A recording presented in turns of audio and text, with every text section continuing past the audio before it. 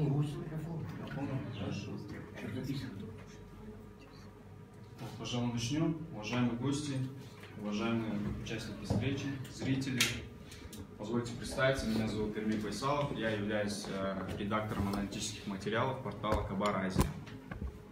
От имени аналитической платформы Кабар Азия и представительства IWPR в Кыргызстане э, приветствую вас, собравшихся на нашей экспертной встрече, и благодарю за то, что вы сегодня вместе с нами.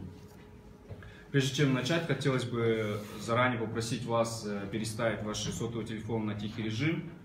Вот. э, Тема сегодняшней нашей встречи – это развитие синологии в Кыргызстане. А, Как известно, Китайская Народная Республика – это наш ближайший сосед, который уже является э, состоявшейся мировой державой. И прежде всего Китай – это древняя цивилизация с богатой э, историей, культурой, языком, со своей философией и взглядом на мир. Сегодня Китай – это один из быстро развивающихся крупнейших финансовых, индустриальных, научно-технологических центров мира. Это страна, которая переходит на новый экономический уклад, связанный с инновациями. Речь идет о цифровизации, об искусственном интеллекте и роботостроении. Это страна, которая финансирует большие международные проекты в странах Африки, Азии и Европы. Китай является более гибким и менее бюрократичным кредитором, страна, которая выдает кредиты другим странам на более облегченных условиях. Э, Растущая роль и влияние Китая в мире, в нашем регионе, в нашей стране вызывает различные обсуждения, споры, прогнозы, а также даже некоторые опасения и страхи. Кыргызстан является одной из тех стран, где Китай с недавних времен стал основным кредитором, и в обществе все больше возникает вопрос, насколько хорошо мы знаем эту страну. С этого года аналитическая платформа Кабаразия начала серию публикаций и обсуждений о статусе и перспективах китаеведения в странах Центральной Азии. На портале Кабаразия были опубликованы аналитические статьи и интервью, касающиеся истории, состояния, востребованности, проблемах и перспективах китаеведения в Казахстане, в Кыргызстане, Таджикистане и Узбекистане. На прошлой неделе прошла первая встреча экспертов в Душанбе, организованная представительством IWPR в Таджикистане, где обсуждали статус и проблемы китаеведения в этой стране. Сегодня мы собрались здесь, чтобы обсудить аналогичную тему в нашей стране. Для нас очень важно изучить Китай с точки зрения э, национальных интересов Кыргызстана, то есть узнать, что нам дает сотрудничество с Китаем, какие перспективы этих отношений. Главная цель нашей встречи – это узнать о состоянии китаеведения в Кыргызстане, о том, что нужно сделать, чтобы улучшить ситуацию по китаеведению в Кыргызстане, э, выработать рекомендации по этому поводу для лиц, принимающих решения и широкой общественности. А Программа экспертной встречи предусмотрена выступлением Муратбека Сансызбаевича Иманалиева, это ученый-китаист, экс-министр иностранных дел, экс-генеральный секретарь ШОС, также Софья Хусаиновна Апаева, декан Кыргызско-китайского факультета КГНУ, и также Ширадила Бактугула, независимого эксперта, который сегодня является модератором нашей встречи. А, Передаю слово Ширадилу. Спасибо большое. А, Доброе утро, уважаемые участники сегодняшней встречи. Э, Та тема, которая поставлена, я думаю, многим известна, знакома, и, наверное, нужно выразить благодарность IWPR за то, что взяла на себя ответственность для продвижения а, проблем, связанных с а, улучшением, совершенствованием китаистики а, в Кыргызской республике. У нас, э, как уже было заявлено, три выступления. После всех трех выступлений предусмотрена сессия вопросов-ответов, общая дискуссия. Предлагаемый регламент – одна минута для, э, э, для задания своего вопроса плюс полторы минуты на ответ на вопрос. Дискуссия предлагает до 3-4 минут. да. Вот. И э, подведение итогов дискуссии у нас состоится в 12.20, где-то в 12.30 мы э, планируем закончить э, работу. Если будет, конечно, э, э, больше желающих выступить, дискуссии и так далее, я думаю, мы здесь э, достаточно гибкие и по э, всеобщему согласованию, думаю, можем добавить еще минут 15-20 на э, то, чтобы мы прош- э, про- смогли дальше подискутировать. Э, Как сказал А Организаторы Эмиль Басалов, представитель IWPR, по итогам а, сегодняшней встречи будут наработаны соответствующие а, предположения, а, предложения, рекомендации, что можно сделать, в каком направлении работать. И вот в этой связи я предложил выстроить нашу беседу, нашу встречу по трем аспектам. Да? То есть состояние китайских в Кыргызстане, а, что мы хотим увидеть, какое состояние должно быть и как к этому двигаться. А, поэтому в этой связи разрешите первое слово для выступления передать нашему а, уважаемому Владимиру Николаевичу Монолееву. У нас регламент по 10 минут каждое выступление.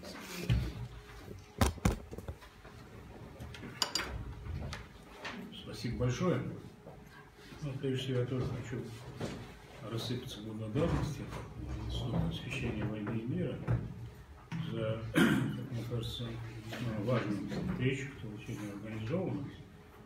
Вообще для меня удивительно, что именно этот институт занимается проблемами китаистики как науки и экспертизы здесь, в Пакистане, поскольку до этого вообще ни Академия наук, ни один из университетов я не слышал и не видел. Во всяком случае, то, что у меня на памяти. Значит, э, что хотелось бы сказать о том, что такое востоковедение, в частности, синология. Говоря о консервативной стабильности Востока, Гегель пришел к выводу о неисторичности Востока, где неисторичность, как он представляет себе, я имею в виду Гегель, это неизменяемость Востока. Неизменяемость Востока, но имеется в виду, прежде всего, конечно, та ситуация, которая возникла в Китае, и э, для многих людей, присутствующих здесь в том числе, может быть, это будет парадоксально и удивительно, это отсутствие каких-либо серьезных изменений в конно-кочевых сообществах Евразии, которые представляли собой огромный не только географический, но и цивилизационный культурный сегмент Востока. Э, Маркс говорил об азиатском способе производства. И, разумеется, конечно, говорил о восточной деспотии с определенным компонентом такой брезгливости к тому, что называется Азией. Это, в общем-то, как он представлял себе, достаточно жестко сконструированная централизованная система управления государством, обществом и индивидом. Э, ну, то, что называется кочевыми сообществами, Маркс вообще считал, что дальше Урала живут абсолютно дикие люди, которые не представляют себе никакого интереса для изучения с точки зрения истории, этнографии и так далее, прочее, прочее. Но это, как говорится, будет на совести этих людей. В Старой Европе Восток воспринимался как символ традиций, эзотерики и сакральности.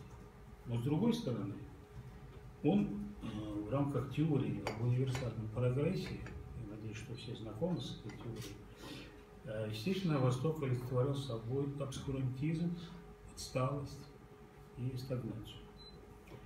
Считается, это тоже для Европы, конечно, потому что в то время Европа была мировым центром, э, считается, что для Востока характерно как образ мудреца-отшельника – так и образ воина кочевника. Вот два таких сложившихся стереотипа о Востоке таковом. Поэтому с Востока на Западе ожидали как света учения, так и набегов кочевников. Эсхатологические теории связывали с Востоком и некоторые мессианские чаяния. Наверняка вы знаете, что в армических религиях это является существенным элементом теологии э, ранических религий. И угрозу, конечно, вселенского хаоса. Естественно, после Чингисхана, конечно, эта э, проблема была достаточно повседневной и острой. Известно другое, что Восток, как географическое понятие, не совпадает с Востоком в культурном, цивилизационном и историческом контекстах. Ну, у нас достаточно ошибочно считают, что Ближний Восток, так называемый, э, все эти понятия Ближний Восток, Дальний Восток, это, это проблема Лондона. Потому что англичане первыми изобрели все эти географические термины, и отсюда появился Ближний Восток, Дальний Восток. Например, удивительным считается одно очень немаловажное обстоятельство, что в Китае до сих пор тот район, где они живут, они называют почему-то Дальний Восток. И наверняка думаю, что все, кто знаком с Китаем, знают об этом. Но на самом деле, конечно, для э, Китая тот район, где они живут, не является Дальним Востоком. Ровно точно так же, как для Центральной Азии, где находится Киргизия, э, Ближний Восток и Дальний Восток совершенно, сказать, чуждые э, терминологические образы. Азиатские политические элиты, разумеется, речь идет о тех, которые существовали в так называемых странах э, восточной цивилизации, совершенно не беспокоили вопросы, которые были очень остры и злободневны для Европы и в какой-то степени Северной Америки. Например, должно ли какое-то некое этническое меньшинство принадлежать только этой стране? Вопрос на Востоке так вообще не стоит. Какой экономический путь надо выбрать? Вообще вопросы экономики, как вы знаете, как с точки зрения концептуальной и идеологической, в восточных, в восточных странах стоит вообще э, позади всего. Э, если на, Европе все перевернуто, то есть экономика является главенствующим элементом развития, то на Востоке-то нет. Должен ли именно этот клан занимать правящие позиции? Вопрос так вообще не стоит на Востоке. Нужна ли идеологическая платформа для развития государства и его политики? Я вам скажу, что вообще понятие идеологии на Востоке отсутствует как таковое. Э, добавлю лишь еще одно важное обстоятельство, что все идеологии, и в какой-то степени все религии, они придуманы европейцами. Ну, э, для того, чтобы проиллюстрировать, скажу, что, например, расизм, колониализм, коммунизм, фашизм, нацизм, все это придумано в Европе, но не на Востоке. На Востоке вообще не представляет себе, что такое идеология.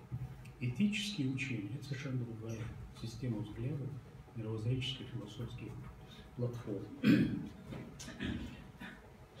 Некоторые принципы азиатских ценностей. В отношениях между обществом и государственной личностью утверждается примат государства и общества. Семья рассматривается как основополагающая ячейка государства. В отношении личности требуется уважение со стороны государства и общества.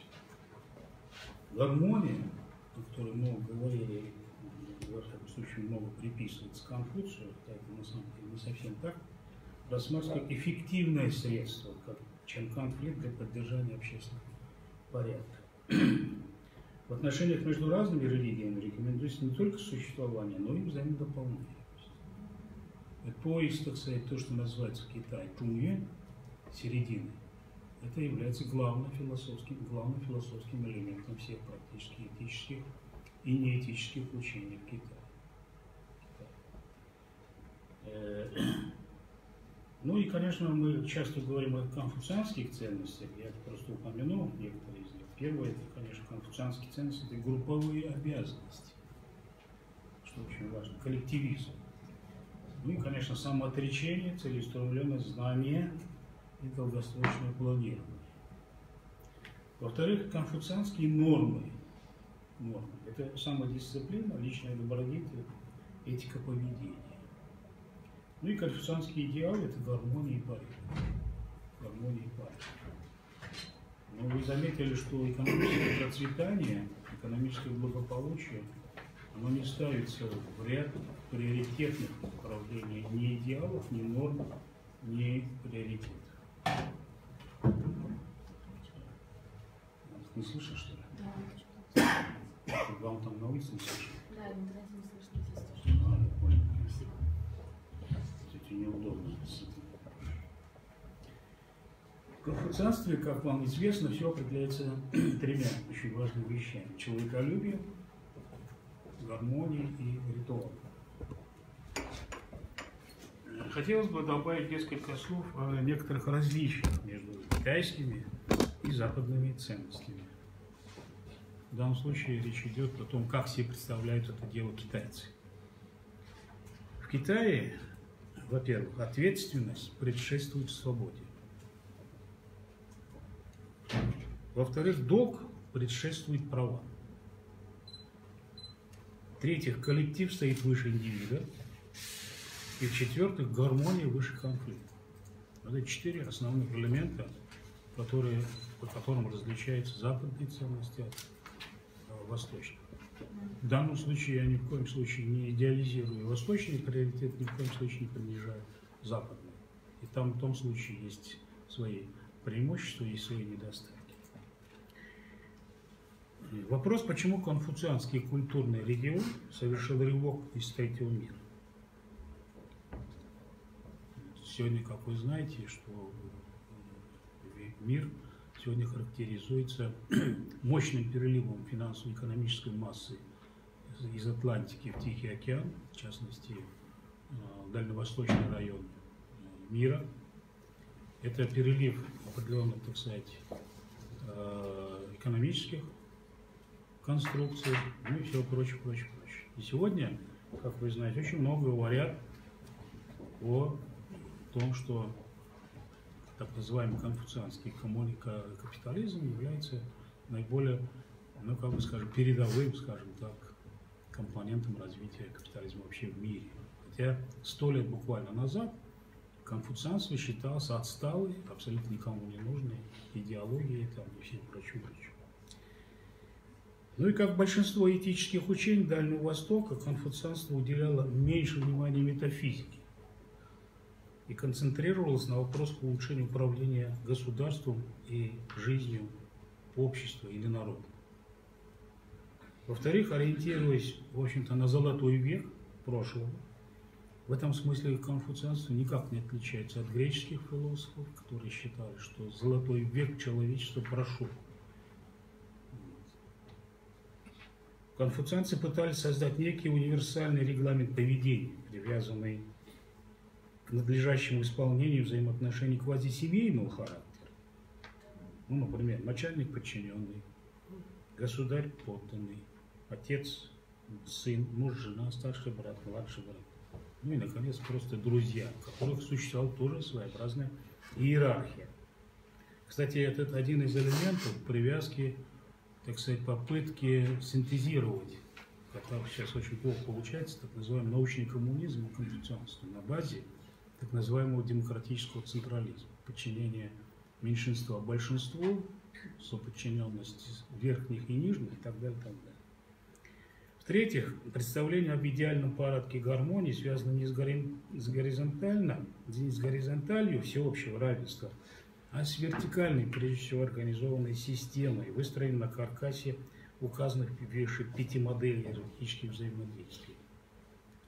Вертикаль и горизонталь – это противоположные системы, которые существовали, например, вертикальная система э, или сетевая система. Это то, что существовало в конно-кочевых сообществах, и до сих пор отголоски мы видим в киргизском обществе. Вертикаль, сетевая система. Горизонт, вертикальная система – это то, что существует в таких сообществах, как китайская, японская, там, корейская, э, другие. Там, и наши соседи по э, разнице в цивилизации, узбеки, таджики, которые тоже вертикальная система управления. Но она тоже отличается от китайской. В-четвертых, основной ценностью государства, как представляли себе конфуцианцы, является стабильность и гармония конфуцианское общество, в общем и целом, ориентируется на поиск консенсуса. Слово консенсус, которое сейчас очень часто употребляют китайские управляющие люди, это не слово нынешнего дня. Это весь этот вокабуляр, он взят из древнекитайского словаря. А, средняя зажиточность, там, консенсус и прочее, прочее, прочее. Это все взято из древнекитайского словаря. И оппозиция в этом деле, как известно, играет системную роль. Критикуя недостатки, но не замахиваясь, не замахиваясь на полную перестройку существующей системы.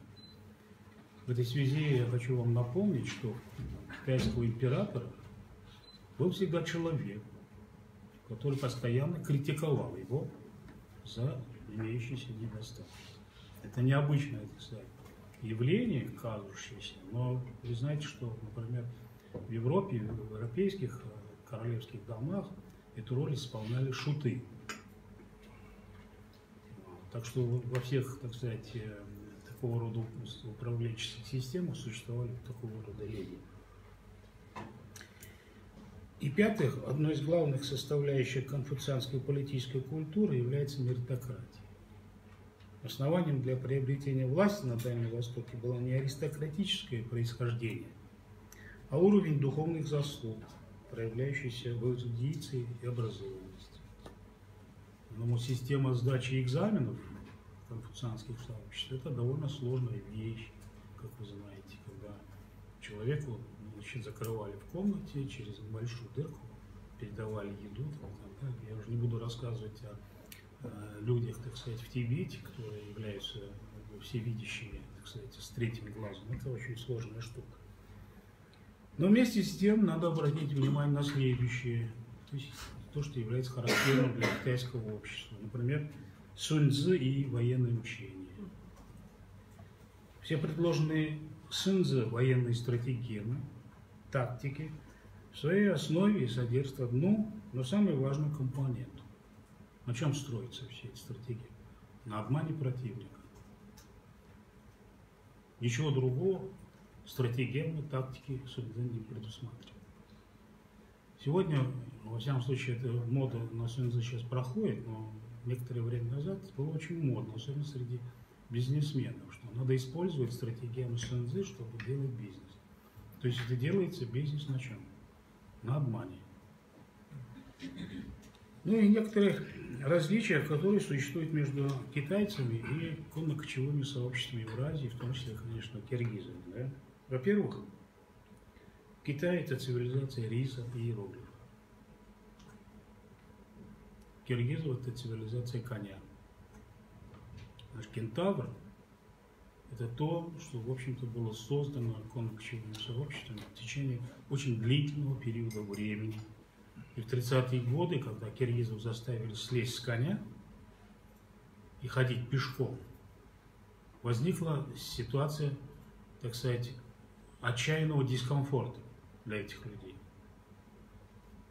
Отсутствие киргизской урбанистики привело вот к этим вот серьезным проблемам, которые возникли в 90-м и 2010 году в Аше, здесь, в Чуйской долине и так далее. И до сих пор мы вот эти отголоски чувствуем, да, что сегодня одна из задач строительство киргизских городов, которых, к большому сожалению, нет. Во-вторых, мобильность. Это характерная черта конно-кочевых сообществ. То, что я говорил, кентавр. И стационарность или землепашец в китайской системе. Созерцание природы издали и фрагментарное вмешательство – это китайская философия. И сосуществование с природой – это ментальность конно-кочевых сообществ. Правильная геометрия кочевания – это то, что кочевников. И правильная геометрия рисового поля. Но геометрия я в данном случае вкладываю не только понятие математическое. Здесь очень важно, так сказать, а, сезонность, регулярность, сбор урожая. И так далее. Пятых, познание мира через человека. То, что характерно для Китая признание мира через человека. Не через природу как таковую, а через человека. И конно-кочевых сообществах в таком познании нет необходимости. Почему? Потому что подсознание априори, априори уже знакомо с этим миром. Оно его знает. И сущности, так сказать, стремления к знаниям нет таковых. А, в частности, я напомню вам об одном очень важном обстоятельстве, которым, может быть, многие не знают, но наверняка, я думаю, что кто-то и знаком. Все мастерство библиотеки, знания из Китая перевозились в Европу и наоборот, кем? Тюрко-монгольскими кочевниками. Но парадокс заключается в том, что эти, те, кто переносил эти знания и мастерство, они сами этим не пользовались. Для многих европейских ученых это является не только парадоксальным явлением, но и явлением, которое говорит о том, что эти люди не способны были к этим знаниям. Но я вам скажу наоборот. Этим людям эти знания не нужны были, потому что они знали, так сказать, с точки зрения натурфилософии, совершенно другие вещи, которые были не подвластны европейцам. Забор и ворота. Вот строительство забора и ворот – это китайская формула, так же, как формула Древнего Рима, Древней Греции. И отсутствие всего этого дела у кочевников. Это нас наталкивает на мысль о том, что для, для изучения конно-кочевых сообществ требуется совершенно другая историографическая методология. Геродот и Фукидид с этой точки зрения абсолютно неправы в отношении кочевников. Ну и библиокультура. Библиокультура, как говорят иудеи, если нету записи, нет истории. И совершенно другое отношение к этому конно-кочевых сообществу. Эпика культурная, устная передача информации. Она в ней есть свои достоинства, этой устной передачи, есть свои большие недостатки. Это совершенно очевидная вещь. Ну и некоторые проблемы, которые существуют сегодня между нашими народами. Я начну с того, что э, киргизский кочевой мир и китайцы воспринимали друг друга как антимиры. Антагонизм включал в себя различные вопросы. Запахи, еда, одежда, жилище, способ передвижения, отношения между людьми, политические системы и так далее, так далее, так далее. Вот.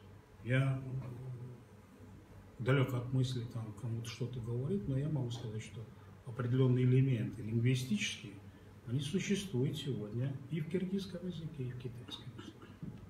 Я бы не хотел это разворачивать, но тем не менее. Во-вторых, конечно, мощная антикитайская пропаганда 60-х, 80-х годов 20 века в Советском Союзе. Она очень серьезно повлияла на формирование нашего представления о Китае. Вопрос решения киргизско-китайской границы. Она наложила свою, так сказать, негативную э, компоненту на понимание Китая. Ну и, конечно, огромные размеры Китая, численность населения и так далее. И последнее, что я хочу сказать, это отчужденность китайских иммигрантов от местного населения. Китайцы везде, в любой стране живут чайнатаунами, обособляясь от других. Я в Нью-Йорке, например, в Чайнатауне видел китайцев, которые вообще не говорят по-английски. Это удивительный факт. Конечно, э, китайская община в этом смысле не является э, уникальными. Дело в том, что и корейские, и японские, и вьетнамские сообщества, они живут примерно в том же ключе, правда, менее, э, может быть, не так жестко сконструированы, как китайский чайнатаун, но тем не менее это существует. Ну, сказанное выше, конечно, это лишь некоторые поверхностные элементы культуры народов Дальнего Востока, в том числе Китая, и взаимоотношений с соседями, которые по своей философской начинке, этическому оформлению иным принципиальным признакам входит жесткое противоречие с нашими традициями, я имею в виду киргизские традиции, политической культуры, национальной философии, религии. Ну и как это все понять, да? Есть ли для этого какие-то пути и решения? Ну, хотелось бы сказать, чем занимается, а? А, буквально минуту, а что, я уже переш- перешибарил? Ну, сейчас я через минуту Нет, закончу. интересно, я подумал, может, еще добавить. Нет, нет, я сейчас через минуту закончу. Софья я могу постоянно сейчас закончить. присматривается, говорит, нет, говорит, пусть говорит. Да. Нет, все нормально, все Э, нормально. Чем занимается синология, да? Во-первых, конечно, или чем должно заниматься синология в Кыргызстане? Во-первых, конечно, это собственное национальное знание о современном и историческом Востоке, Китае. Не то, что мы получаем из России, из Запада, там, еще откуда-то, а именно собственное свое представление о Китае. Если этого не будет, грош цена всем усилиям ученых, там, экспертов, каких-то лю- людей, студентов. Никому это не нужно. И заниматься надо, например, китайским языком только по своим учебникам, а не по учебникам, которые присылают из Москвы. Во-вторых, синология, развитие синологии позволяет собственным учениям активно использовать китайские материалы для реставрации истории, этнографии, эпико-поэтических образцов и создавать сравнительное обобщение приоритетов. Реставрация истории Киргизии в основе своей лежит в Китае. Я вам напомню, то, что я уже много раз лет лет говорил, только черновая история династии Цин – это 110 тысяч томов. 110 тысяч томов. Я уже не говорю о там разного рода хрониках, записки путешественников, каких-то цинских там, э, чиновников и так далее. В-третьих, профессиональное знание Китая позволяет нам более точно сформулировать этнические, политические, экономические, цивилизационные идентичности. Вопрос вообще идентичности является для киргизов чрезвычайно актуальным. Я вам приведу такой пример, очень-очень простой примитивный. Выйдите на улицу, спросите у киргизов, вы азиат или нет? Я предвижу замешательство, очень большое замешательство. Китае этот вопрос вообще не стоит. Или в Европе не стоит вопрос в Англии, европейцев или нет. В-третьих, конечно, э, четвертых, вернее, это обогащает собственную культуру. Иные настроечные конструкции типа политических режимов, политических партий много другого. Опыт Востока говорит о том, что состояние государственного управления определяется не политической системой или режимом, а способностью народа управлять самим собой. Всегда надо помнить, что развитие, например, экономики определяется не, эконометрич- не эконометрическими параметрами. Это надстроечные явления, эконометрические параметры, финансы, э, региональное размежевание там, и так далее, и так далее, и критерии, да? а определяется состоянием экономической культуры, а также качеством человека. Ничего другого в экономике не существует. В-пятых, позволит сформулировать более точные и более профессионально выверенные концепции отношений со странами Востока, в частности с Китаем. Например, на сегодняшний день в нашей стране было бы желательно иметь ответную концепцию на инициативу «Один пояс, один путь». Без концептуально выверенного подхода к такого рода конструкциям, глобальным, А один пояс... Азия, А? да? А там а Центральная Азия вы имеете или от Киргизстана? Нет, я про, про Киргизов тут говорю, я про Центральную Азию не имею права. Без концептуально выверенного подхода к такого рода конструкции мы будем постоянно в роли ведомого. Решение вопроса с Китаем, например, отношения, которые сложились с Европой, донор-реципиент, является весьма, весьма важным. И Китай готов сейчас решить эти проблемы вместе с нами, к чему мы не готовы. В-шестых, знание Востока или Китая дает нам возможность снять с национальной повестки дня европеизированную дилемму большой, маленький, богатый, бедный. И одновременно выйти на уровень равноправного межцивилизационного диалога. Ну и что делать? Я сейчас заканчиваю. Через минуту я закончу. Первое. На базе существующих китайских факультетов необходимо создавать лаборатории китайских исследований. Пока, поскольку правительству нет денег, нет возможности меценатства, это нужно создавать на базе энтузиазма, на базе тех людей, которые хотят этим заниматься. Я понимаю, что это сложно, я пробовал несколько раз, не получается. Но, сложно, но тем не менее надо. Конечно, нужно подтягивать какие-то финансовые возможности правительства, бизнеса, иностранных спонсоров, в том числе, конечно, китайских. Кстати, китайцы, они готовы к спонсированию такого рода. Я в свое время предлагал в Алмате создать региональный центр китаеведения. Почему Алмата? Потому что это единственный большой город, не столица Центральной Азии. И наиболее удобный, например, для того, чтобы туда можно было с Ташкента, Душанбе, Бишкек, Урумчи, ну и так остальное прочее. Но, к большому сожалению, казах, казахские друзья отвергли мою идею, сказали, что мы без тебя разбираемся, создадим свое. Но они создали при э, Назарбаевском университете, сейчас существует центр изучения Китая. Но серьезных китаистов пока нет. Есть два-три человека в Казахстане, которые что-то могут говорить. Во-вторых, э, с моей точки зрения, на базе дипло- дипломатической академии, я просто повторяю свое предложение, Министерство иностранных дел, было бы важно создать сектор изучения вопроса сопряжения ЕАС, один пояс, один путь, американского нового шелкового пути и Центральноазиатской экономической программы Европейского Союза. Вот это было бы очень важно. Проведение страновых международных конференций, симпозиум по китайской тематике. Проведение Дней культуры Китая в Кыргызстане и наоборот. Очень важно кинофестивали, литературные праздники. Я вам скажу, а, кто э, знает, кто такой Мо Ень? Вот когда спрашиваешь на улице, Мо Ень вы знаете? Никто не знает. Ну, здесь, я понимаю, высокопросвещенное общество. Конечно, они знают, кто такой Мо Ень. Мо Ень – это Нобелевский лауреат. Когда в России я смотрел, меня больше всего удивило, что из, изданы сборник эротических рассказов Моей. Я спросил у издателя, это что единственное, что вы могли издать? А где Красный Гаулян, там и остальные знаменитые повести и рассказы Моей? Их нет. Я знаю, что в Китае тоже не особенно хорошо к нему относятся, там, но там совершенно другой порядок вещей но тем не менее. Ну и, конечно, очень важное э, для того, чтобы решить проблемы наших общественных отношений, очень важен лекторий. Вот. э, Я предлагал правительству, к большому сожалению, правительство, как мне кажется, не очень понимает, о чем идет речь, но лекторий с выездом в регион по тематике исторического и современного Китая.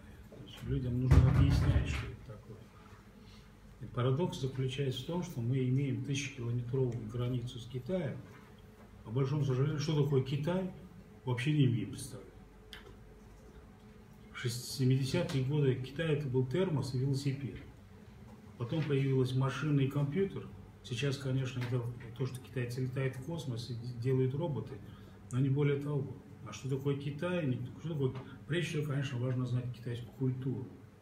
Вот когда говорят о китайской культуре, я вам скажу одну вещь. Да? Она может быть спорная, но это мое личное мнение представление о политической культуре Запада, агрессивной, колониалистской, это одно. И это представление Запад переносит на Китай. И считает, что Китай тоже такой же. Но культура политическая, культура Китая, она совершенно другая. И совершенно другие параметры определяют эту культуру. Современный Китай и так далее. И так далее. Вот, извините, что перебрал время, на этом закончу. Все нормально. Я думаю, здесь в комнате собрались люди, которые действительно болеют душой за восстановление синологической школы Кыргызстана. И я думаю, э, вы э, с пониманием относитесь к тому, что у РГС сейчас столько наболело, и то, что немножко перебрали, но в этом проблем нет. И э, следующее слово для доклада разрешите передать декану Китайского факультета Крымского национального университета имени Казбина Апаева Софья Хусейновна. Спасибо. Всем добрый день. Еще раз разрешите, значит, мы, я свой, я думаю, голос у меня. А, Мы свой а, как бы, доклад а, разделили на китайский язык в Кыргызско-китайском факультете вчера, сегодня, завтра. Значит, вообще хочется сказать, что как появился а, китайский язык в стенах Национального университета. Э, Вообще изначально это было, э, конечно же, дунганский язык, был это при Академии наук был Центр дунгановедения. Значит, в 80-х, э, конец 80-х годах открывается, значит, Имазовым, Имазов, Сушалон, Шисыров открывают, можно, да, открывает, значит, специальный дунганский язык и литература. Конечно, она актуальность ага, не приобрела, и, но тут же открытость Китая, появляются, значит, волонтеры, а, приезжают там, в Академию наук и, соответственно, начинают э, преподавать э, небольшие курсы китайского языка а, в стенах Национального университета. Теперь конкретно о нашем факультете. А, Значит, в этом году нам 10 лет. Значит, это был небольшой центр при русской филологии. небольшой центр при русской филологии, центр, э, центр лингвистики межкультурной коммуникации. Затем, э, значит, он, там э, обучалось около э, 12 студентов, э, именно изучали китайский язык. Затем, значит, появляется актуальность китайского языка, уже э, появляется Кыргызско-китайский образовательный центр 2006-2009 учебный год, затем Кыргызско-китайский институт, и на сегодняшний день это Кыргызско-китайский факультет. Кыргызско-китайский факультет, на сегодняшний день у нас около 1300 студентов изучает китайский язык. А, Значит, ну, как бы структура факультета, то есть что-то, да, не запускается, я так поняла, что... Ага, Ну, давайте тогда я так расскажу. Значит, у нас идет а, колледж, затем идет бакалавр, магистратура, и мы планируем открывать PhD-докторантуру. Это в планах. То есть э, в колледже, в колледже у нас такие направления, как а, переводческое, готовим пере- пере- по направлению переводческое дело. Бакалавр у нас международные экономические отношения, международное право, перевод переводоведение, а, филология, а, получ- э, да, филология. И так, и магистратуре у нас лингвистика, китайский и международное экономическое. Готовим. Что-то вообще, да, здесь прям у меня динамика была, я хотела показать. Значит, теперь э, об выпускниках вообще поступают, конечно же, на факультет. Например, я взяла здесь три года, три года поступления. 2016, 2017 и 2018 учебные годы. Мы, мы видим, что поступают, а, например, общую, общее количество взяла на 120, что там не запускается, да? Технически сейчас мы поправим. Да. Может, Ну? Техника сдает чаще сбои, чем человеческий организм. Человеческий Да. организм. Да, вот в 2016 году у нас закончило 123 студента, в 2017 году 155 студентов, и в этом году мы планируем выпустить 146, а, получается, студентов со знанием китайского языка. В общем количестве это будет э, за три, за три года это 427 студентов. Ну, специалист со знанием китайского языка. Также мы взяли магистратуру. За три года специалистов по китайскому языку Кыргызско-китайский факультет подготовил а, тысячу. Вот мы вчера посчитали, около тысячи выпускников. Дальше, но поступало 1326, то есть 326 студентов изъявили желание как бы не продолжать изучать китайский язык на первых, ну, после первого, второго, на вторых, третьих курсах. Дальше э, здесь э, я хотела показать, значит, где в Китае массово обучаются наши студенты. Это, конечно же, Урумчи, потому что у нас э, и договора, у нас на первом этаже расположен институт Конфуция. Институт Конфуция именно сотрудник, это у них идет сотрудничество с Синьцзянским педагогическим университетом. Также вторая точка у нас это была Гуанчжоу, и третья точка это Аньшань. Три города, где э, густо обучаются наши студенты. Так, дальше там у меня был слайд. Наши вузы партнеров сегодня а, на Кыргызско-китайском факультете около а, 80 а, вузов Китая, которые ну, как бы, а, мы а, отправляем наших студентов изучать китайский язык, получается, в Китае. А, Дальше а, я пок- показываю, значит, количество студентов, выехавшихся а, на курсы китайского языка, э, через, ну, э, обучаясь одновременно путем, баллонс, э, путем дистанционной формы обучения, обучаются, значит, одновременно здесь и на один учебный год, на, это получается курсы повышения, повышения, да, Значит, здесь мы видим за три года, в 2016 году 53 студента, в 2017 году 95 и в 2018 году 90 студентов а, на сегодняшний день у нас находится в Китае, изучает китайский язык, повышает свою квалификацию. Потом, затем я, мы показывали трудоустраиваемость наших выпускников. У нас есть, существует на факультете ассоциация выпускников, то есть мы видим, а, что происходит с ним, где они трудоустраиваются. Это у нас э, работаем, да, в этой отрасли. И вот здесь я тоже хотела показать, значит, из 100% наших выпускников а, уезж- а, в магистратуру, то есть сейчас, чтобы попасть э, в магистратуру, не обязательно иметь бакалавр это однозначно, но еще нужно знать знания, кита- нужно иметь знание китайского языка в виде HSK, это как TOEFL в английском языке. То есть без HSK студент никак не может выехать на бюджетное. Конечно же, наши студенты хотят обучаться на бюджете, уехать и обучаться в Китай. Поэтому 70% наших выпускников, их цель это магистратура. Это магистратура в Китае, потому что мы их отправляем только на один учебный год. То есть, э, и значит, 70% наших студентов уезжают обучаться в магистратуру в Китай.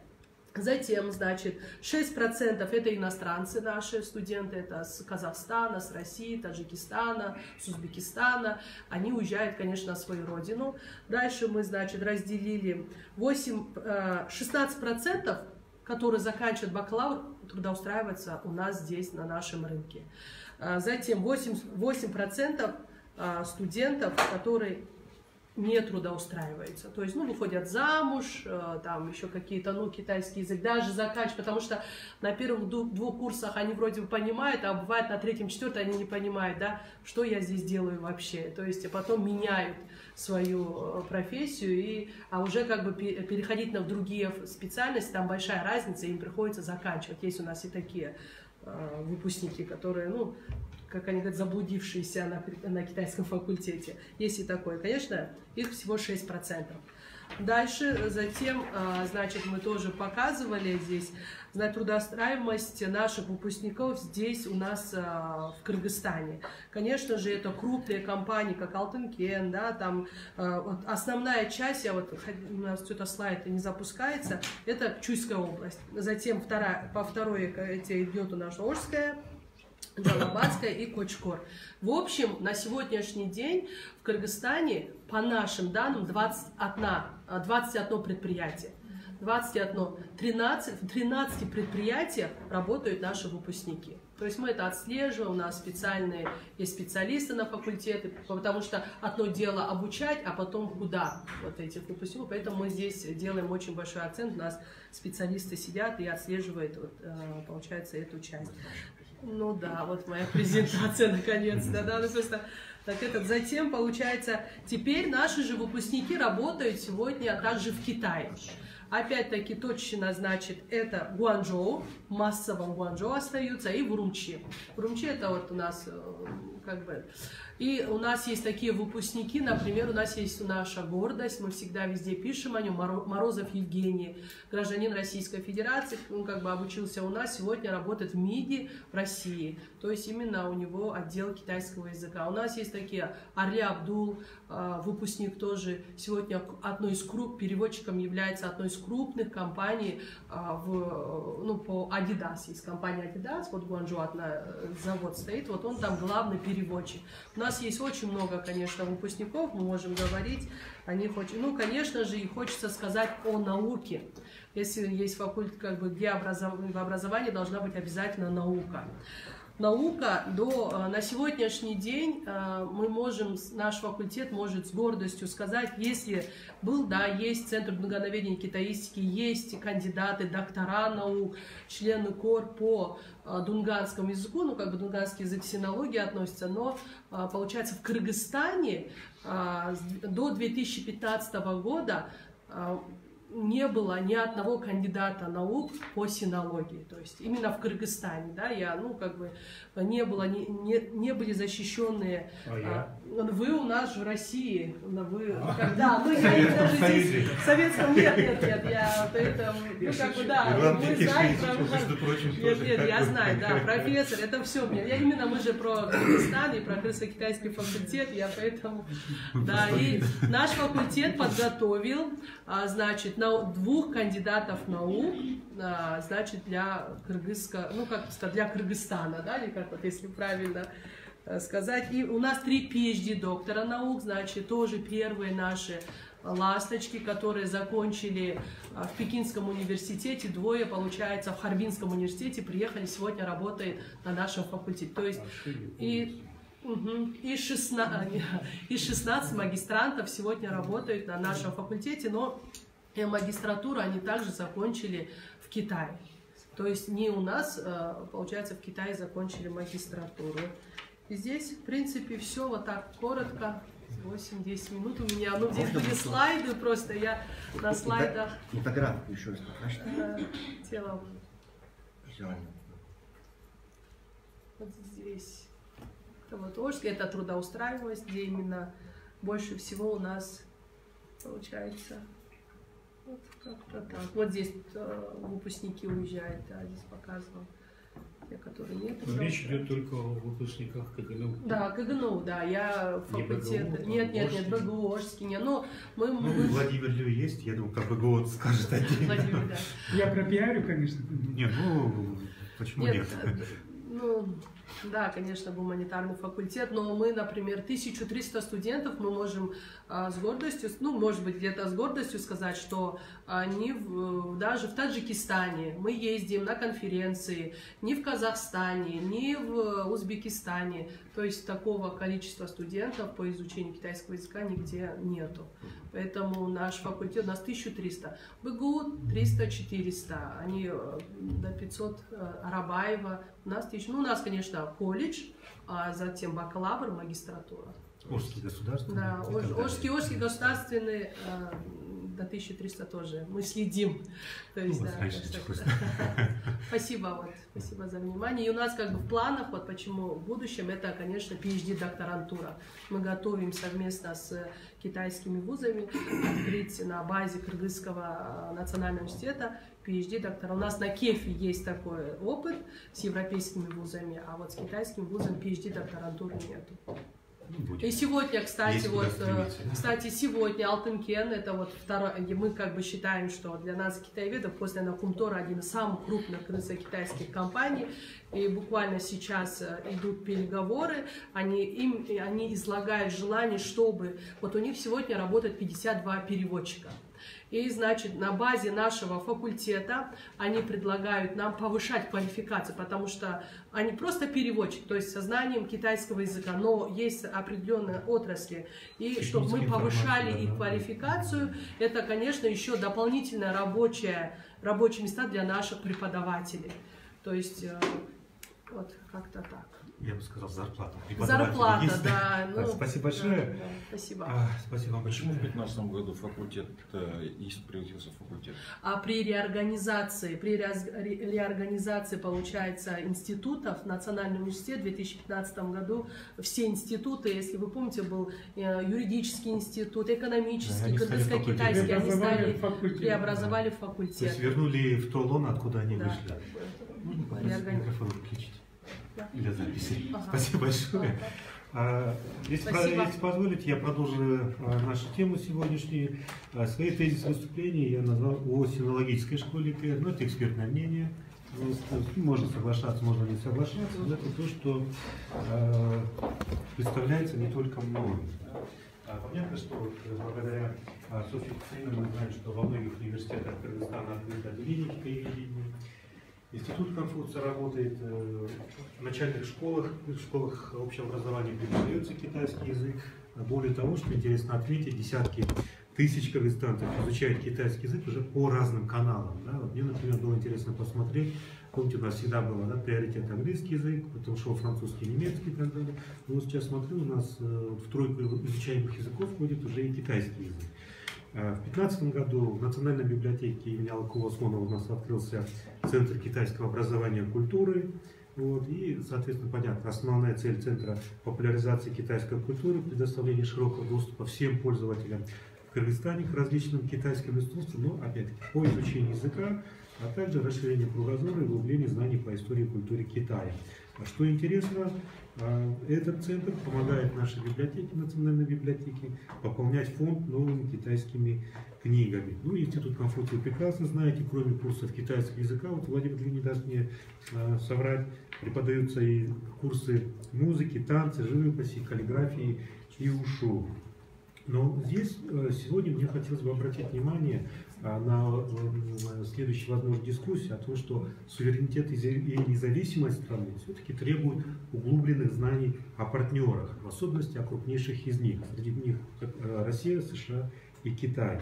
И эм, когда мы готовились к этой тематике, а, понятно, что э, китаеведение это и есть комплексная наука, да, которая включает в себя не только язык, э, географию, историю, литературу, экономику, внешнюю политику. Короче говоря, все сферы многогранной жизни государства, народов Китая, как в историческом прошлом, так и в сегодняшнем настоящем. И вот э, Муравей Александрович, отдельно большая благодарность.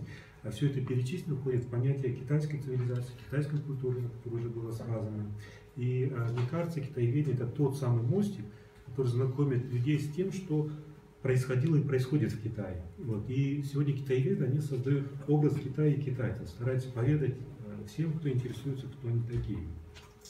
Из тех возможностей, которые э, на сегодняшний день у нас есть, э, мне кажется, надо обратить внимание на то обстоятельство, что Кыргызстан сегодня находится, ну, там, дорос или дошел да, вот за 28 лет независимости до стадии развития экономических взаимосвязей, которые требуют поиска новых форм сотрудничества. То есть у нас э, понятно, что во времена Советского Союза э, э, наши полномочия по определению внешней политики были делегированы в наднациональный орган Министерства иностранных дел СССР.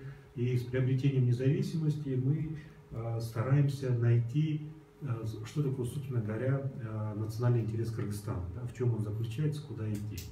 Вот, и как его реализовывать при Э, сотрудничестве с э, нашими внешнеполитическими партнерами. Из еще хороших э, возможностей, которые у нас есть, а, надо отметить, это произошла деидеологизация науки. Да? То есть помните, вот 60-е, 70-е годы, это всегда было, критиковали Китай за левацкий укор, да? это враг, вероятный противник. Кыргызстан входил в состав Краснознаменного Среднеазиатского военного округа вместе с Казахстаном. Основная задача которой была противодействие китайской агрессии, возможно, китайской агрессии да, вот, то вот сейчас можно писать как угодно, о чем угодно. А, а, можно, скажем так, выехать в поле, имеется в виду а, в Китае, пощупать руками. Но вот, э, к сожалению, э, я общался с нашими казахскими коллегами, а, с нашими кыргызстанскими вот, да, больше э, интересуются литературой, да, вот, эпическими поэзиями, вот, творчеством Юсуф Мамаев написал. А у казахов все-таки более расширенное понимание. У них есть старые традиции, например, в угороведении еще советских времен. Это Светлана да, э, э, Кажан э, Кажгулова, да, доктор исторических наук. То есть вот и так далее. Да? Ну, понятно, что у нас есть отделение дунгановедения, мы им гордимся. Единственное, Кажирова. Кажирова, Кажирова Светлана, да. Вот. То есть, опять-таки, видите, у нас есть как бы вот общее направление, но если мы смотрим по специализации, у нас ну, существуют пробелы. Да? И, соответственно, например, когда идут э, выступления, там, тематики, касающиеся а, Западного Туркестана, Суар и так далее, ну, э, мы все сходим, смотрим с точки зрения а, европеизации, да, евроцентрического подхода. Ну, скажем так, а, когда европейский суртюк пытается натянуть на восточный халат, да, при этом суртюк начинает трещать.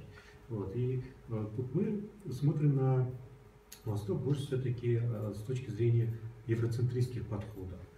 А, из тех ограничений, которые есть, а, мы понимаем, что а, хорошие, сильные знания о Китае, они сформированы в составе системы Министерства иностранных дел Крымской Республики. Но это не только у нас.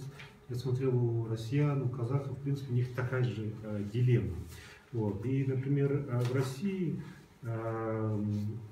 они смотрят на то, что а, большинство работ а, по Китаю она идет от того, что у дипломатов не очень диверсифицированный круг общения. Да? Вот, и а, не могут работать системно над расширением круга источников. А с, нашей, с точки зрения нашей науки, посмотрим, мне кажется, этот круг еще уже да, от работы с источниками. И мне, например, было интересно узнать, существует ли на кыргызском языке да, работа о Китае. Ну, я не нашел. Если вот это есть, подскажите, пожалуйста, кто написал и о чем да, где можно почитать. А, далее, если мы смотрим а, в тех ведомствах, государственных ведомствах Кыргызской республики, которые отвечают за экономику, за финансы, да, ну, Минфин, Минэконом, китаистов, китаистов вообще нет. Да? И как тогда вот устраивать экономическая политика, вот, тоже как вопрос, который зависает. И мне кажется, это не совсем правильно. Министерство иностранных дел требует, чтобы они занимались и экономической политикой, и финансовой политикой, и финансово-кредитной политикой, да, когда есть соответствие министерства и э, э, э, комитеты. Более того, если мы смотрим по э, лицам понимающим решениям, э, скажем, премьер-министр, вице-премьер-министр, помощники и так далее, у китайцев тоже нет. Есть люди, кто знает китайский язык, но что такое, мне кажется, есть это все-таки ограничение. Да? А, мне кажется, еще это хорошее направление, с которым можно было бы поработать. А, я вот смотрю, ну это опять-таки с примера а, Советского Союза, с нынешних американских подходов, европейских подходов. Вот свою долю формирования экспертного знания по Китаю вот в этих странах да, всегда носила журналистика. Вот журналистам, работающим за рубежом, всегда предъявлялись вот такие особые профессиональные требования. Вы помните, в ГИМО существует, есть факультет международной журналистики, и они, в принципе, отличаются вот просто от э, факультета журналистики, например, МГУ, к примеру. Да? То есть это было правильно. Не всегда э, самый блестящий ученый может стать хорошо пишущим журналистом да? или умеющим обращаться э, с китайцами э, интервьюером. Но с другой стороны, Э, присущая вот популярным статьям, журналистским статьям, да, несколько поверхность, она не всегда позволяет журналистам быть допущенным, ну, скажем, условно, круг экспертов по Китаю. Да? Но, опять-таки, у нас нет а, ни одного представительства а, кыргызского средства массовой информации, в том же, например, Гуанчжоу, а, в том же Урумчи, в тех местах, где присутствуют а, граждане Кыргызской республики да, в большом количестве. Не говоря уже о том, что нет журналистов, которые аккредитованы а, при, ну, например, могут освещать напрямую сессию, например, а, Всекитайского собрания народных представителей. Да? А по своему влиянию на мир, решения, которые принимаются, это важнее, чем выборы президента США, например. Да? Но тогда непонятно, зачем нам освещать все время выборы США, там, что там кандидаты от демократов и республиканцев говорят в адрес друг друга, а когда вот такие решения, которые принимаются в Китае, которые определяют э, развитие экономики больше, чем выборы американского президента, ну, скажем так, остаются у нас без внимания, вообще без внимания. Да? А, далее, если мы посмотрим, а, безусловно, да, вот хорошие примеры были о том, что а, бизнес запрашивает и нуждается в информации о Китае, но в крупных компаниях, в кыргызстанских государственных предприятиях, вот, мало того, что у нас в них отсутствуют собственные аналитические подразделения, но по работе с КНР, э, с Россией, у них нет практически. Да? Вот, то есть вот в рамках ЕС даже, когда было вступление, да, вот в аппарате правительства был создан э, как бы аналитическое подразделение, но это была дополнительная нагрузка на уже действующих сотрудников. Да? Вот. И вот здесь опять-таки проблемная зона, где э, можно было бы и поработать. Да? Более того, может быть, это вот как предложение вузам пошло. Да? Вот, э, есть у нас топ-менеджеры, но у них нет э, китаеведной подготовки. Да? И нужны, нужны какие-то вот курсы э, страновые. Те компании, которые, в которых работают выпускники отделения китаеведения, вот, когда мы смотрим, понятно, что больше занимаются, конечно, переводческой деятельностью, но еще дают вот, знания бизнес-этикет, вот, базовые знания этнопсихологии да, китайцев и так далее. Вот больше ничего нет. Нету ни раскладов по экономике, ни по политике, ни по праву а, и так далее. А, более того, а, обычно, вот, кто смотрел, а, при торгово-промышленных палатах, деловых советах развитых стран существуют аналитические подразделения. Да? Ну, например, с Китаем. А вот э, таких э, организаций при торгово-промышленной палате Кыргызской Республики нет. Ну, может быть, хорошо то, что, например, в России тоже этого нет. Да? Ну, вот зачем э, плохой пример брать? Да? Надо же двигаться, исходя из своих собственных потребностей. Это при том, что у нас тысячи километров, да? и оборот с китайским бизнесом у нас ну, совершенно маленький. Ну, учитывая, что у нас время несколько ограничено, я немножко закончу, но у меня есть потом тоже вот э, мысли по э, на подведении итогов. И вот здесь э, последняя мысль, которую я хотел бы здесь поделиться, это то, что мы понимаем, что финансирования нет. Но проблема вот интересная. С учеными, когда начинаешь разговаривать, они говорят, вот отсутствует заказ от бизнеса на проведение исследований по Китаю. Да? Но вот когда говоришь с бизнесом, они говорят, заказать исследования по Китаю в Кыргызстане некому. Да?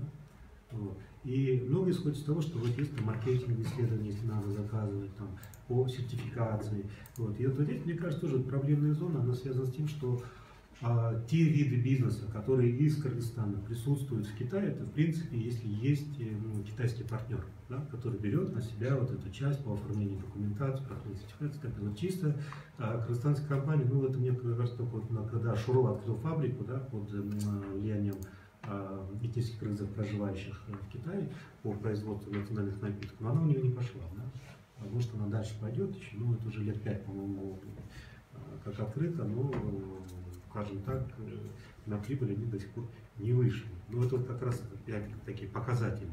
Вот соцопросы не проводили, маркетинговые исследования не проводилось, ничего не проводилось. Да? Просто было основано на а, словесных договоренностях, вот будет продаваться, все будет хорошо. Да? То есть, а реальный хороший сильный бизнес уже так э, не работает. Вот. И э, на этой почве, на этом тесте э, разрешите мне остановиться и передать слово Владимиру Лю. У него есть тоже э, хороший небольшой Ну, доклад. я да. думаю, надо, наверное, что-то рассказать. А, надо, надо рассказать. Ну, Владимир Леон, знаете, да, его? Это заместитель директора Ассоциации китаеведов. А, Когда я услышал, что такая ассоциация есть, я, если честно говоря, обрадовался. Вот. Потом он работает в ИГУ длительное время, в Конфуции и так далее. да. Спасибо, уже Да. отставили мне. Мне только остается поприветствовать всех присутствующих. Это дело нужно, и время уже давно подошло к тому, чтобы действительно заговорили о том, что надо создавать э, школу китаеведения, ну пусть называется школа или направление китаеведения надо развивать. Потому что мы уже подготовили с 91 года э, открыли китаеведение и востоковедение специальности, и уже к этому времени уже только БГУ выпустил более трех тысяч специалистов китаеведов. Поэтому время подходит, действительно, все наши выпускники уходят в бизнес и работают в основном переводчиками. Мурбек Сасабаевич вот, э, говорил о том, что были попытки Неоднократно были поп- были попытки в ассоциации китаеведов и при университетах. При университетах уже созданы центры, центры китайского языка, как они там называются, не знаю. Финансирует китайская сторона. Но они финансируют так. Э, Проводятся мероприятия годичные, э, и вы- выделяются средства. Э, Текущие мероприятия проводят. Ну, это сказать, чтобы они занимались аналитикой, наукой, это еще абсолютно такого еще пока нет. Но это достаточно для того, чтобы студенты и студенты, и преподаватели э, имели публикации и так далее. Этого, конечно, достаточно. А то, что вот м, вы говорите, заниматься аналитикой в области экономики, политики и так далее. Но я хочу сказать о том, что э, вузы очень много подготовили китаеведов, но они еще не китаеведы. Даже в китайском языке вы же знаете понятие, есть китаевед, это хан Шуядя, это наши студенты ошибочно говорили. Я китаевед, там, когда рассказывают топик свой, китайские преподаватели удивлялись, они сказали, китаеведы это ваши преподаватели, они китаеведы, а вы э, учитесь специальности, там, китайский язык, литература, специальность э, это, синология, специальность значит, э, экономист, китаевед. А китаист, в широком понятии китаист, Хан Шуэджа, это вы будете там через 5-10 лет, будете называть себя китаистом. Вот эти вот, э, наши студенты тоже вот понятие, не знают, что такое Хан Шуэджа, что такое специалист просто по Китаю и получу диплом. И в резюме часто пишут, ваш китайский язык, они пишут, в совершенстве. Это, в общем, меня убивает. Скромность такая, в кавычках. Киргизии. Нет, они резюме подают э, для обучения в Китае, магистратуру и так далее, и пишут китайский язык в совершенстве. А, ну там же они экзамены все равно сдают. Нет, ну просто это немножко амбициозность, да. Ну им тоже разъясняем. Это все исходит из того, что э, чтобы быть китаеведом, здесь сидят коллеги мои, чтобы быть, э, понимать эти вещи, нужно действительно комплексный подход. И Мурбек Цесыбаевич на круглых столах, э, международ- международная конференция вот последняя была, говорили о менталитете и так далее. Язык, он просто язык, э, который преподается здесь, в Кыргызстане у нас, и понятие китаист – это изучение китайского языка и немножко культуры в какой-то степени, не, абсолютно совсем мало философии, только действительно знают, и то и не все знают, конфуцианство, говорят, это религия, а что такое, так скажем, этическое учение, они как-то себя неуютно чувствуют. Они изучали религию, даосизм, конфуцианство, так и отвечают. А нужно изучать э, так, как вот Маркс говорит, что это утическое учение, оно имеет э, подоплеку. И мы сказали, комплексное обучение э, – это действительно все науки. Философию, литературу знать. Он, они не знают даже основных произведений Средневековых, где э, э, жизнь зиждется вся стратегема, военное искусство, культура, политика и в то же время консультантство, все там заложено. Поэтому вот такой комплексный, комплексный подход, а то, что мы готовили, подготовили специалисты, из которых можно что-то лепить и делать, это уже то, что вот сегодня наша задача, то это возможно. Я думаю, давно уже назрело это время, поэтому попробуем еще раз на энтузиазме создать что-то, школу, аналитическую, там, синологическую. Спасибо. И э, вы прекрасно знаете, Владимир Александрович начинал работать еще в посольстве СССР в Китае, был советником вот. Но у нас есть еще один человек, который начинал работать одновременно с Владимиром Александровичем в посольстве СССР КНР. Это экс-министр иностранных дел Кыргызской республики, экс-директор этого института освещения войны и мира, это Абдулаев Иван Бекешевич, человек, который действительно очень хорошо знает Китай. Это вам слово. И хороший термин сказал, китаевод, да? Большое спасибо, дело. Прежде всего, конечно, тоже хотел бы сказать, что э, выразить признательность институту за то, что он создает или создал, создал новую площадку, э, где обсуждаются вопросы э, аналитического экспертного сопровождения принимаемых решений. Конечно же, не только в Кыргызстане, но и во всех странах Центральной Азии, в рамках которого, в рамках проекта, который вы проводите, я специально почитал статьи, которые вы подготовили по Таджикистану и по э, Казахстану. Есть большой запрос действительно на экспертные оценки, экспертное сопровождение принимаемых решений. Я не стал бы только говорить о Китае сейчас, но я к этому тоже подойду. Большой запрос существует, конечно же, э, на экспертное сопровождение, необходимость такого запроса на экспертное сопровождение практически всех принимаемых решений на правительственном уровне. И здесь это касается э, не только, наверное, сферы внешней политики, это касается определенных направлений вопросов внутренней политики. Э, если очень экспертное сообщество может предоставить серьезные аналитические выкладки, раскладки – Э, по тем или иным ключевым вопросам, которые мы, перед которым стоит сегодня наша страна, государство, общество, человек, то, конечно, такие э, выкладки, такие э, предложения, они более чем будут востребованы и будут реализовываться. Я бы хотел сказать, что, конечно, существует большой запрос на экспертное сопровождение Э, вопросов внешней политики, наших международных отношений. Э, и здесь не только э, направление синологии, не только направление Китая, но необходимо действительно более углубленно изучать отношения наши с другими странами, прежде всего со странами Центральной Азии. Как Мурат Бексон Сабаевич всегда говорил, нам кажется, что мы знаем эти страны.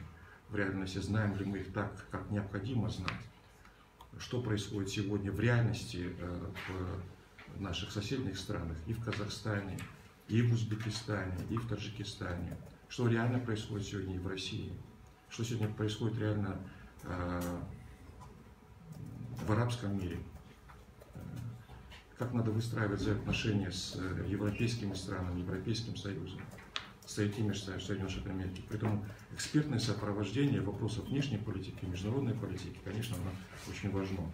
Но здесь вот сегодня э, институт э, заострил внимание на именно синологической школе на, на синологии, на изучении Китая. Это, наверное, тоже э, не случайно.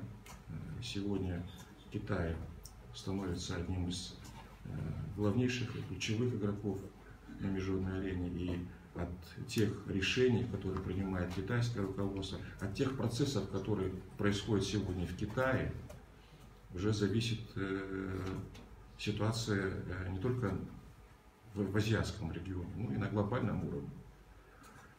Э, поэтому то, что Шрадил сказал о том, что нужно очень внимательно изучать решения, которые принимаются на сессиях Всекитайского собрания народных представителей, они не менее, а может быть более важны для не только внутриполитического развития Китая, экономического развития Китая, но и для их взаимоотношений, взаимоотношений Китая с определенными странами.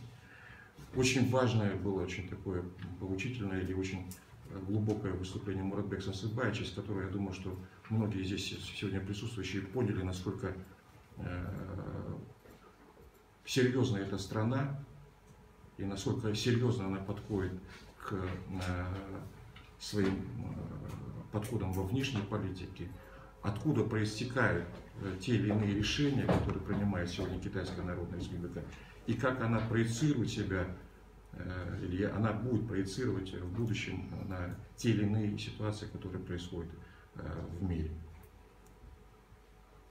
И очень важно с этой, с этой точки зрения, чтобы мы здесь, в Кыргызстане, четко представляли себе, что за страна является нашим соседом, какие процессы там происходят, как это может э, повлиять с позитивной точки зрения на нас? Как мы должны использовать э, в максимальной степени то преимущество, то, что мы находимся сегодня и являемся сегодня э, соседями э, такой страны, как Китайская Народная Республика. Поэтому, конечно же, запрос на, на создание, на утверждение или, там, скажем, на развитие синологической школы, на глубокое изучение проблем, э, всех вопросов, не скажем проблем, а вопросов, связанных с Китаем, более чем актуально. Да, этот вопрос затянулся. Но он затянулся не только у нас, он затянулся практически во всех странах Центральной Азии.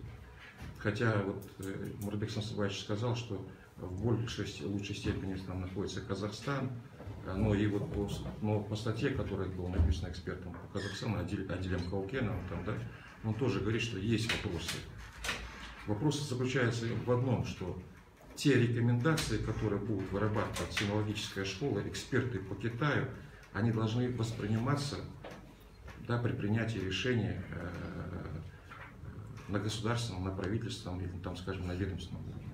Если такое будет, то, конечно же, это было бы наибольшим, наилучшим э, синтезом там, да, экспертного сообщества и государства.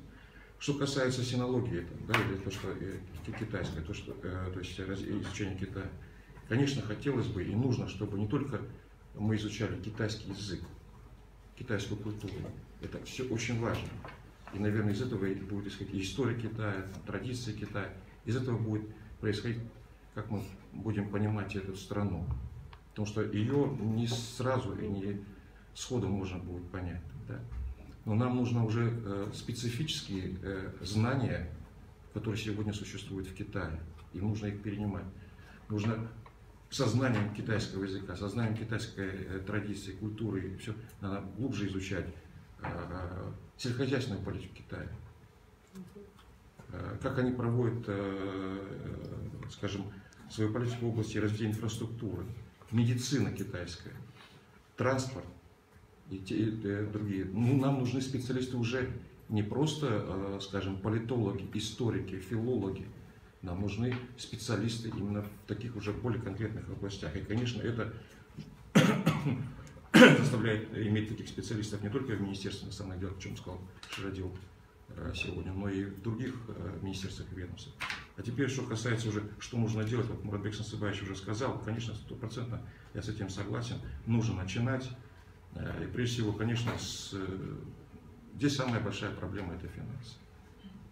Но э, исходя из того, что у нас имеется сегодня, да, наверное, нужно сделать какой-то толчок к тому, чтобы правительство это поняло. для того, чтобы финансировать эти все вещи, потому что с, и со, с краткосрочной точки зрения, но и более со средней и долгосрочной точки зрения, э, эти инвестиции, которые будут вложены в создание экспертного сообщества именно по Китаю, по вопросам внешней политики, они себя стоят за окупят. Но э, понимая, что есть определенные ограничения, вот, там, скажем, у правительства, наверное, вот, как Муравец сказал, надо создавать, э, скажем, такие отделы э, в высших, учебных заведениях, вузах, где уже сегодня существуют, э, скажем, структуры, которые занимаются так или иначе с Китаем. Это, вот, по-моему, семь э, высших учебных заведений в Кыргызстане, которые этим занимаются. Конечно же, надо возобновить, было бы, я вот думал, э, говорили, что здесь будут представители Национальной академии наук, Национальной академии наук надо создавать такой же, может быть, отдел, не только касающийся Китая, но и вопросов внешней политики. Э, НИСИ наш, да, дипломатическая академия, в ней тоже э, необходимо создавать, мы тоже пытались это сделать. На юге есть у нас южное отделение, по-моему, Национальной академии наук, в Нарыне. У нас есть высшие тоже учебные заведения, где тоже, наверное, надо было бы это делать. Ну и в завершение хотел бы сказать, затянулось, конечно, что вот эти все вещи, конечно, не должны носить первый, вот тоже сегодня об этом говорил, что глубокий, там, скажем, исследовательский характер, базовые, фундаментальные исследования Китая, они нужны. Но нам нужны тоже и прикладные исследования, нам нужны и ситуативные э, исследования э, для принятия, там, скажем, оперативных решений. Не всегда в Министерстве иностранных дел есть возможность там, да, все, всю глыбу материала, который существует, анализировать и принимать решения. Это в большей степени, наверное, должно делать экспертное сообщество. Именно экспертное сообщество может и должно проговаривать любые варианты развития событий, там, скажем, по, по тому или иному вопросу. И в завершение, там, да, хочу тоже сказать, что журналистика, вот то, что сказал э, Широдил, там, да, это действительно очень правильно э, то, что, например, в МГИМО есть отдельный факультет журналистики, в котором готовятся специалисты по международным отношениям, э, журналисты-международники, так называемые, но со специализацией по какой-то конкретной стране. Когда журналист пишет по этой стране, самый, наверное, такой тоже пример, там, Евгений Максимович Примаков, который был специалистом и работал журналистом, там, да, корреспондентом, по-моему, «Правды», он глубоко знал эту страну. И его, там, скажем, интервью, его статьи, они были не, не столько журналистскими даже, а сколько экспертными оценками. Вот если вот такая журналистика будет, которая будет а, глубоко исследовать э, эти проблемы, к чему нужно стремиться, там, да, что журналистика, эксперты, наверное, должны работать очень вместе и друг другу в этом помогать. А так, конечно, еще раз большое спасибо за э, инициативу. Это нужно продолжать, нужно обращать на это внимание. Надеюсь, что э, все у нас получится. Спасибо большое. Коллеги, наверное, уже накопилось да, много мыслей, вопросов. А кто хочет следующим выступить, сказать, подискутировать? Можно я вас скажу? Можно. Просто добавить то, что говорил здесь.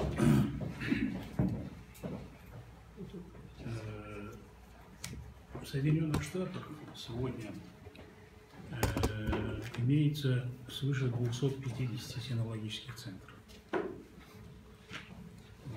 В Советском Союзе, кто знает, было всего где-то 22-25, включая военные. Киевские военные училища, Владивосток. Свыше одного миллиона человек в Соединенных Штатах изучает китайский язык. Но для изучения китайского языка, собственно говоря, распространения китайского языка, есть э, несколько сложностей. В первую очередь, конечно, это иероглифика. Потому что в 60-70-е годы японцы пытались создавать такого рода центры в разных странах, но не получилось именно по этой причине. Потому что очень сложно изучать иероглифику. И обратно то же самое. Есть китайцам очень сложно изучать э, графическое изложение в виде букв, звук. И это тоже, в общем-то, у них возникает определенные проблемы. Преодолимо ли это? Ну, трудно сказать. Но, тем не менее, как мне кажется, имея в виду опыт многих европейских стран. Особенно, конечно, важно понимание Японии и Кореи в этом смысле. Мне кажется, что такой опыт должен быть изучен, изучение китайского языка. Как это делается в других странах. Наверное, университет имеет такую возможность каким-то образом обменяться специалистами, попытаться понять, как это дело изучается, например, в Корее. Ну, не все, но наверняка многие знают, что в Пекине есть район Вангдин, где живет свыше 300 тысяч корейских э, бизнесменов, специалистов, которые работают в Китае, в Корее, как известно, большое внимание изучению Китая, потому что корейцы совершенно справедливо считают, что Китай это в определенном смысле, в определенном смысле, это будущее Кореи. Будущее Кореи. Во многих смыслах. Вот э, я такой совет бы предложил. Ну, то, что касается, там был разговор о МИДе, ну, МИД нельзя, э, я в данном случае никому не обращаюсь, в том числе и к Шарапиру, укорять за то, что они не занимаются научно-экспертной работой. МИД Они не это... должны. А? Они не должны. МИД это оперативная работа. Да. Другой вопрос, так сказать. Помощь со стороны экспертного сообщества МИДу, с этой точки зрения, она отсутствует. Большому сожалению, отсутствует, но мы должны признать с вами, что синология как наука, как наука, не как экспертиза, как наука, она умирает везде по всему бывшему Советскому Союзу, к большому сожалению. Если мы возьмем там некоторые институты э, российские, то тоже там аховая ситуация. Аховая ситуация, не говоря о Центральной. Ну, конечно, в центральноазиатских странах, ну, в Казахстане там создали центр, но, опять же, кроме некоторых определенных людей, которые занимаются Китаем, там, собственно говоря, такой э, систематизированной, комплексной научной системы нету, научной базы нету. Вот. А у нас в Кыргызстане, я должен признать, к большому сожалению, что мы имеем учебную синологию, но которая готовит таких, э, ну, как бы скажем, синологов купеческого свойства. Да, те люди, которые занимаются бизнесом, каким-то переводом, там еще что-то делают. Так далее. Но я ну, привлечь людей к науке или хотя бы к экспертизе очень сложно, потому что люди задают два вопроса. Я сколько собирал людей, студентов, они задают два вопроса. Когда он поедет в Китай, и сколько я буду платить? Ну, я говорю, что у меня платить денег нет, и поехать в Китай, ну, будет, будет, конечно, поедете. Сейчас в Китай так же просто, как попасть в Москву. Проблем особых нет. Но, тем не менее, конечно, какая сложность существует. Вот э, со- сообщество, вот сидящее здесь, я считаю, что оно, в принципе, если, конечно, внутри есть какое-то желание, огонь там, оно может составить ту, как бы скажем, интеллектуальную основу для развития синологии. Не искать там со стороны, там, при- приглашать студентов, а создавать здесь и двигаться в этом смысле. Вот здесь синологический центр можно будет создавать, да, то есть на энтузиазм, потому что ну, рассчитывать на помощь правительства, еще раз повторяю, каких-то меценатов, богатых людей не приходят, потому что этого всего нет. Правительство нет денег, меценаты не дают, потому что им наплевать на Китай все остальное прочее. Ну, рассчитывать там на кого-то из-за рубежа тоже сложно, потому что западников это не интересует, только с определенной точки зрения интересует, ну и других тоже самое. Вот, конечно, вот э, попробовать в этом как бы, контексте, мне кажется, было бы очень полезно. Очень полезно. Спасибо. Спасибо большое. Еще комментарии, предложения Можно, нужно. Только представьтесь, пожалуйста, для записи.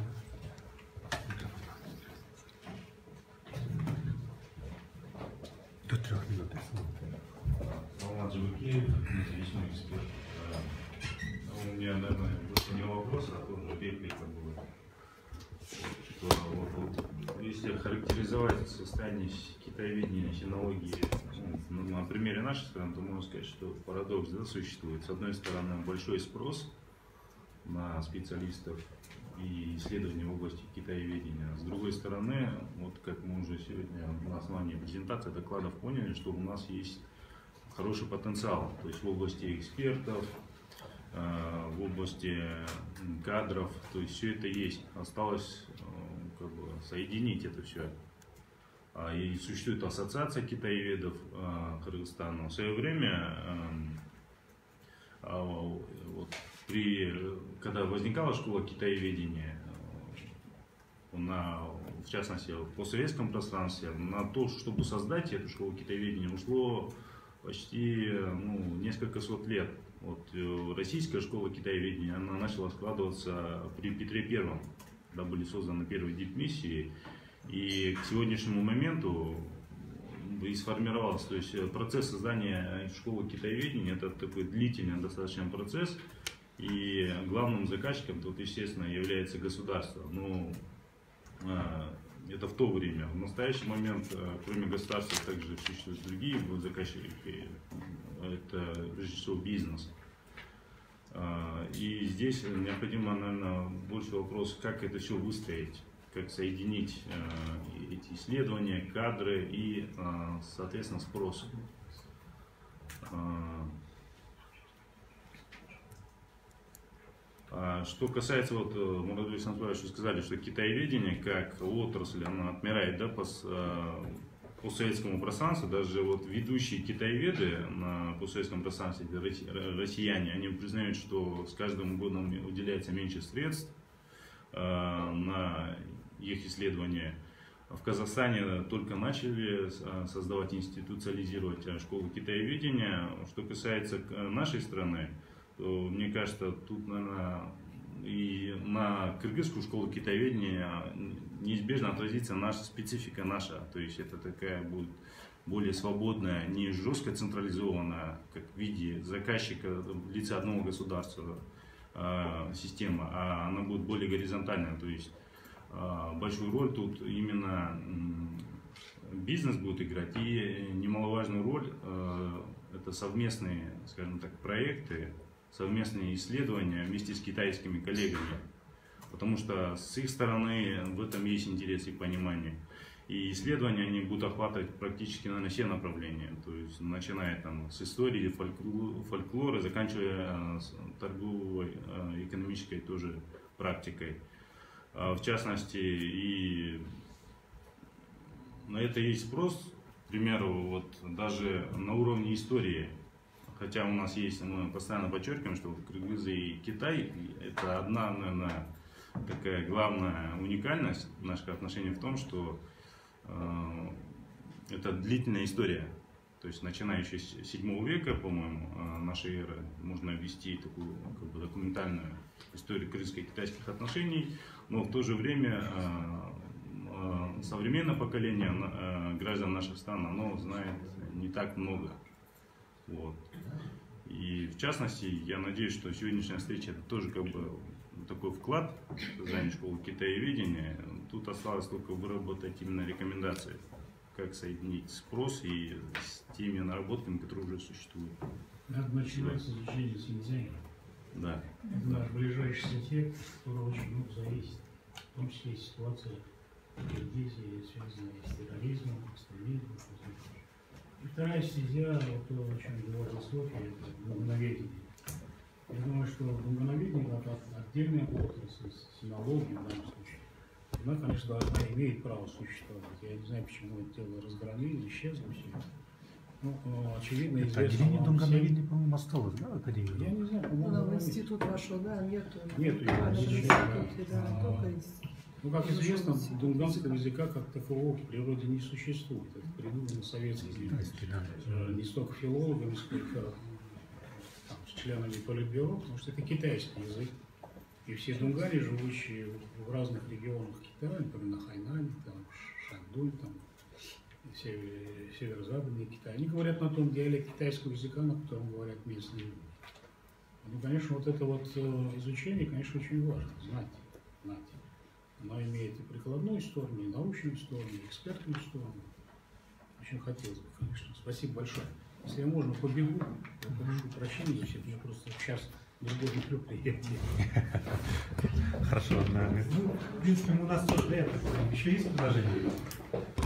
Если позволите, э, из тех вопросов, которые есть, вот мне тоже хотел немножко поделиться. А, Хотел найти, например, главный такой китаеведческий журнал Journal of Contemporary China. не нашел. Мне говорят, он очень дорогой, мы его не выписываем. И вот с этим связана другая проблема. В международных базах работы наших отечественных китайцев почти не индексируются. Да? Вот.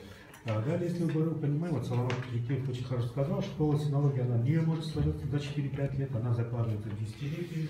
Но есть хорошая вещь. В Кыргызстане раньше не было да, своей собственной китаеведческой школы. Она сейчас только складывается. И очень хорошо, что у нас в вузах открыты э, отделения китаистики, китайского языка и так далее. То есть это те первые шаги, э, которые называются, вот опять же, мы смотрим стадии становления школы синологии, это то, что называется переводческий этап. Да? Мы его проходим, и то, что у нас есть такие выступления, обсуждения круглых стола, мне кажется, это хороший знак того, что мы уже созрели, чтобы э, наш собственный интерес, интересы страны выкладывались в то, и в том числе по отношению к нашему большому ближайшему соседу. Вот. И мы понимаем, что вот в 1992 году, который кризис э, был у нас в стране, он привел к тому, что произошел отток ученых, специалистов, преподавателей в разных сферах.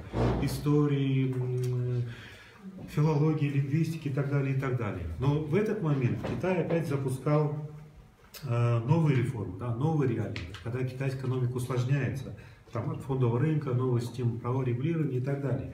Поэтому, да, к сожалению, мы сейчас не имеем а, поколения специалистов-преподавателей, которые бы в деталях владели вот этими сложными рыночными реалиями, металлургических инструментов для их анализа на примере Китая. И самое главное, чтобы имели такой же обширный круг источников. И в этом направлении, мне кажется, тоже можно работать.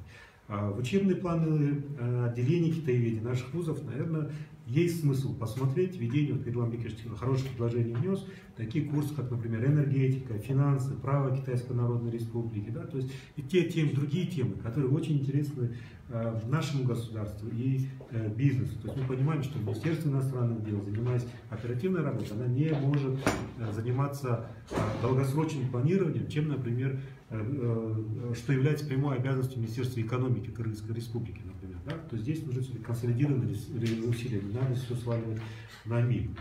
А, сейчас а, та ситуация, которая у нас есть, если мы, а, понятно, что китаистика, она наращивать знания о Китае. В этом направлении мы делаем первые шаги, и, соответственно, эти знания нужны для государства и бизнеса. Но есть еще такая важная функция, да, это поддерживать знания о Китае.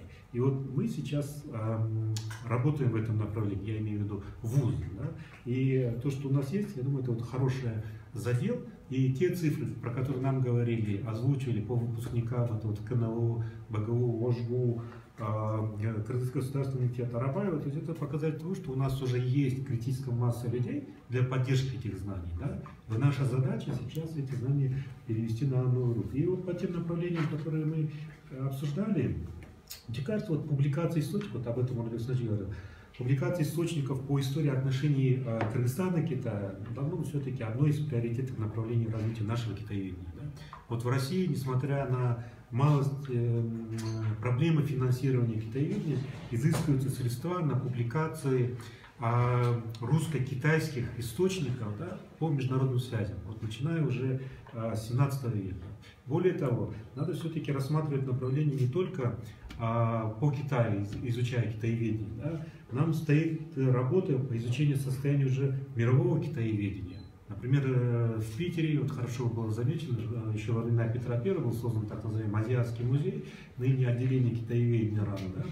А, там э, содержатся хорошие данные, хорошие, например, академик Василий Васильев, когда вот начинал работать, там тысячи рукописей посвященных русско-китайским отношениям, Монголии, Центральной Азии и так далее, да, они для нас э, практически неизвестны. То есть, если мы не знаем хорошо китайский язык, не знаем маньчжурский язык, не знаем монгольский, тибетский, санскрит не знаем, но мы знаем русский язык и, соответственно, могли бы э, хотя бы развернуть работу э, в том же, например, в Питере, да, то есть питерская школа китаеведения.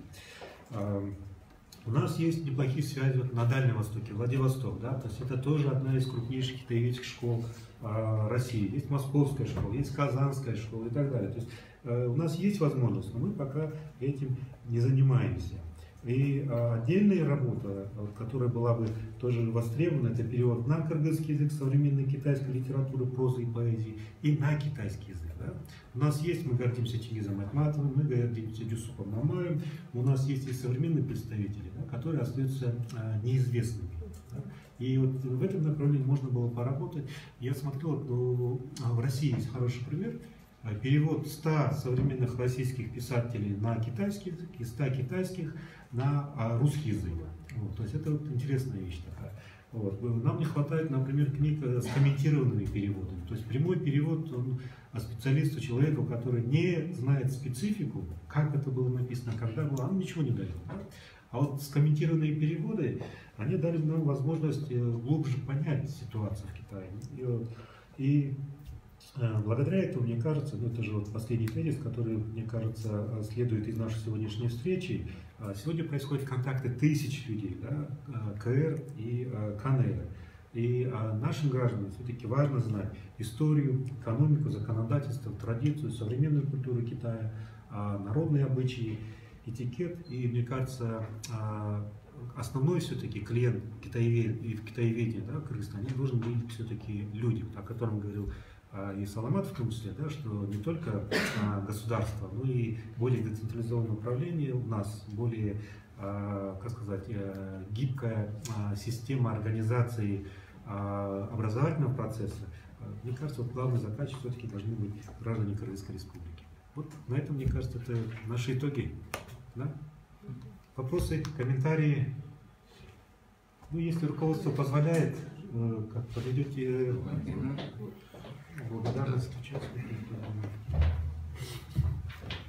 Дорогие участники нашей встречи а, и также зрители, спасибо большое за то, что вы сегодня пришли. Надеюсь, э, мы сегодня выработали очень важные, нужные рекомендации, которые мы обязательно соберем.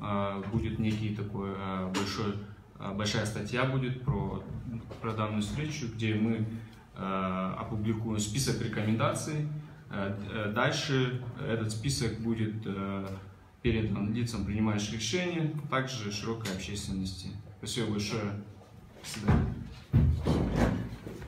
До Чай, кофе.